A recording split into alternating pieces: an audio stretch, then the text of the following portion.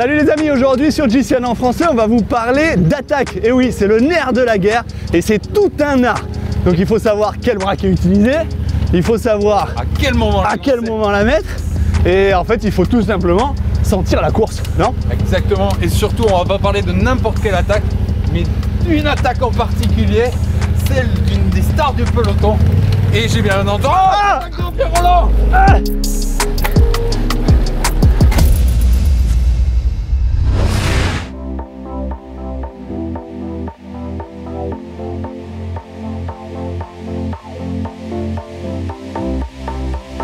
Alors Pierrot, dis-nous, combien de types d'attaques tu comptes toi chez les pros Oh là, il y en a un paquet, hein, il y a... Il y a plein de sortes, après voilà, il y a la, il y a la vraie quoi, la seule, L'unique celle que tout le monde attend. Celle que, celle que- voilà, il y a la mienne quoi, l'attaque de Pierre Roland. Pierre Roland Après il y en a plein des attaques. euh, L'attaque de Marlou, l'attaque de... L'attaque de, de Facteur, l'attaque... Ça c'est les notes, ça, ça, c'est bon pour nous Regarde-le. Oh là là. Bah déjà, faut attaquer un peu, un peu mieux que ça quand même. ouais. Ça dépend, mais ça dépend de la forme. Mais la, la vraie attaque, c'est quand tout le monde pose son cul sur la selle et que, et que tout le monde est cramé, c'est là qu'il faut avoir juste un tout petit peu plus de courage pour en mettre vraiment une bonne quoi. Mais, mais ouais, il n'y a pas. Il y en a plein quoi, il y a plein de. Il y a l'attaque pour prendre l'échappée, il y a l'attaque pour gagner, il y a l'attaque pour passer à la télé. Euh, Dis-nous ce qui caractérise celle de Pierre Roland. Il y a quand même, t'as quand même une spécificité braquée quoi, par rapport Ah aux oui. autres dans le style. Ouais, elle est, elle est en souplesse. Beaucoup, beaucoup de souplesse. Énormément, oui. Et C'est ironique. Hein. non, moi, moi, déjà c'est grand plateau. Déjà c'est. La base c'est grand plateau. Peu importe euh, la pente. Euh, 5%, 10% c'est grand plateau. Et en danseuse, beaucoup beaucoup de braquets. Bouche fermée quand tu passes au niveau de la tête du peloton de préférence? De, de préférence, euh, ouais. T'essaies de le surjouer un peu, il y a un côté quand même. Il y a un côté comédie, non Non, j'intériorise, j'intériorise beaucoup. Mais, mais c'est vrai que je suis pas trop du dans le genre grimace.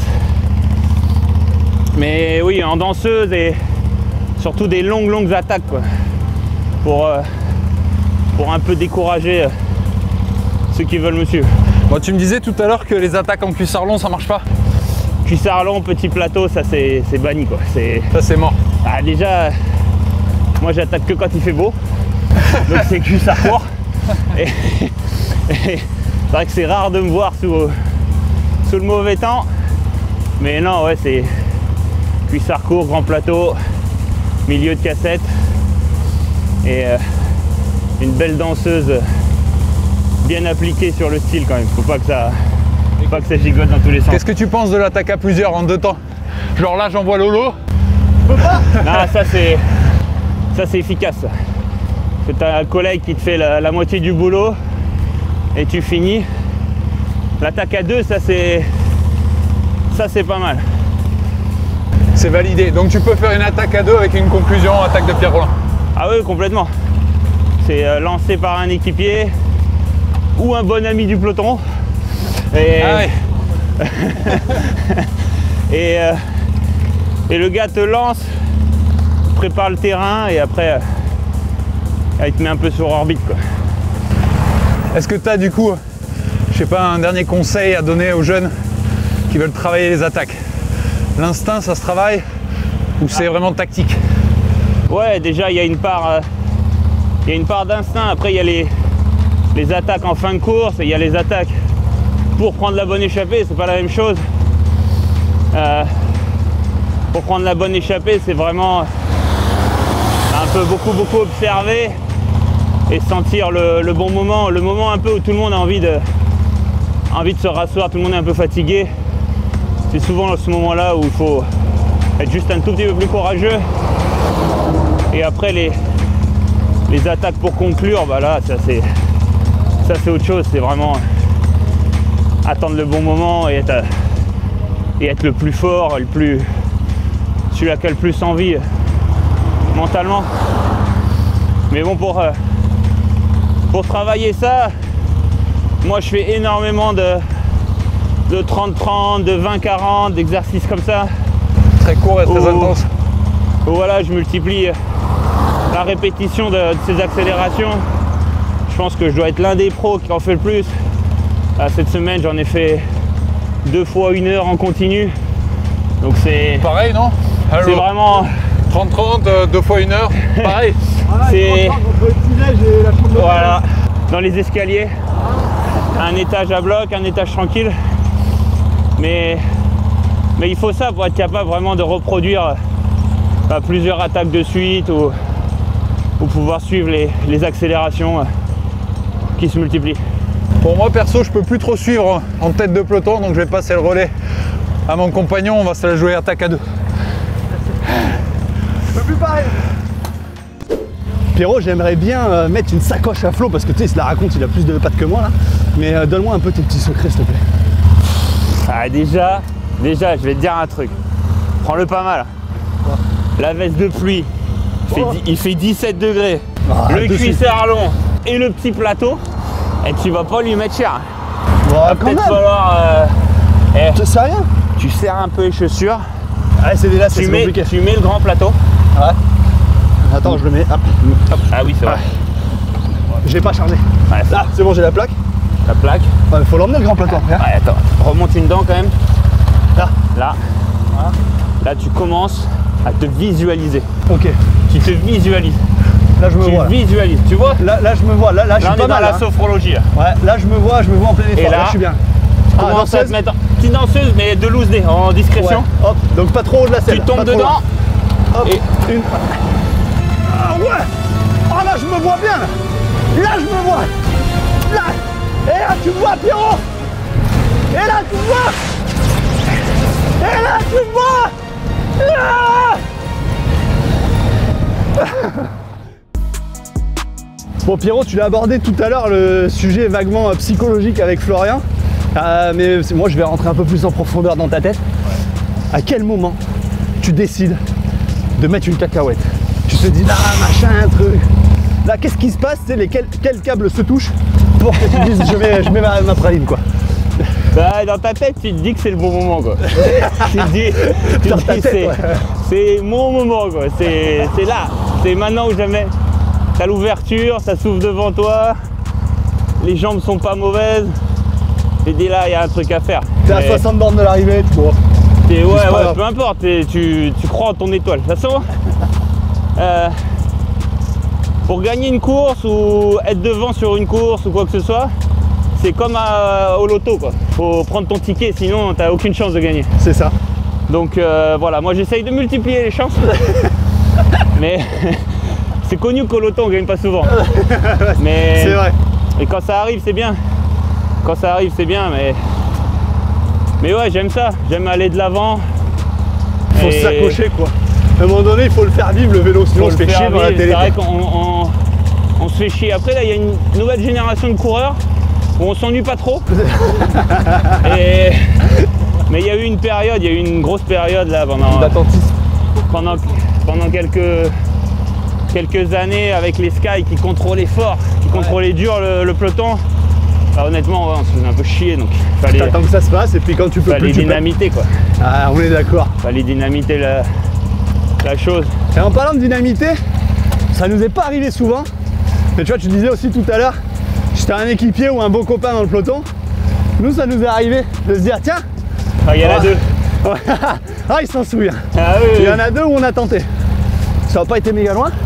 Non mais mais des fois tu te dis bon là c'est le moment parce que tu veux prendre la bonne échappée du jour, l'échappée qui peut, qui peut se jouer la gagne ou quoi.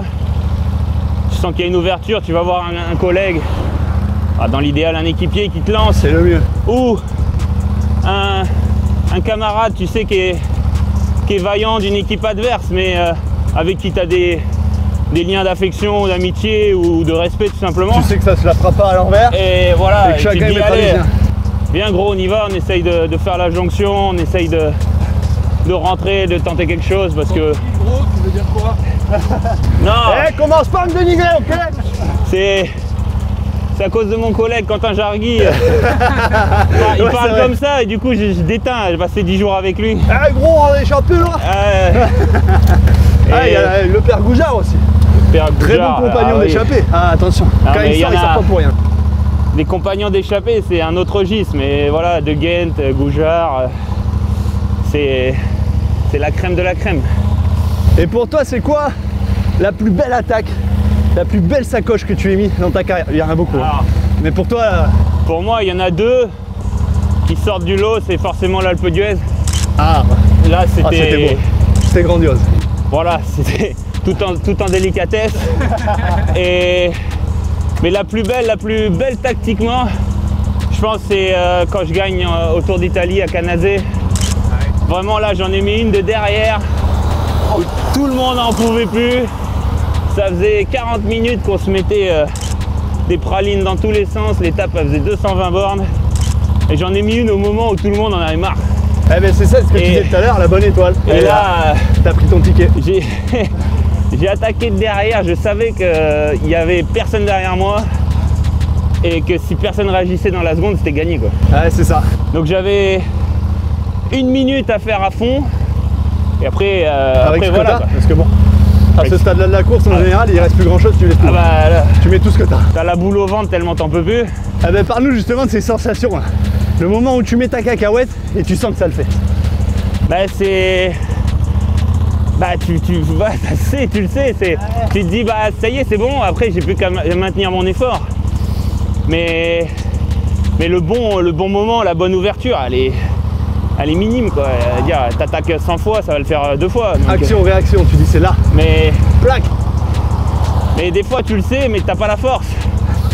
Oui aussi. Mais. Et tu vois un mec qui attaque qui va et tu dis merde. Ah, c'est celle-là. C'était c'était celle-là les gars. tu sais que c'est celle-là, tu regardes tes pieds parce que t'en peux plus quoi. Ça, ça m'est Mais- arrivé ça à Mouvoir un paquet de fois. Mais. Euh, Dieu sait que j'en mettais des cacahuètes aussi. Mais ma plus, ma plus belle attaque tactiquement, c'est celle-là à Canazé, là sur le, sur le Giro, c'était juste parfait quoi. Le parfait timing. La perfection, ce qu'on aime voir.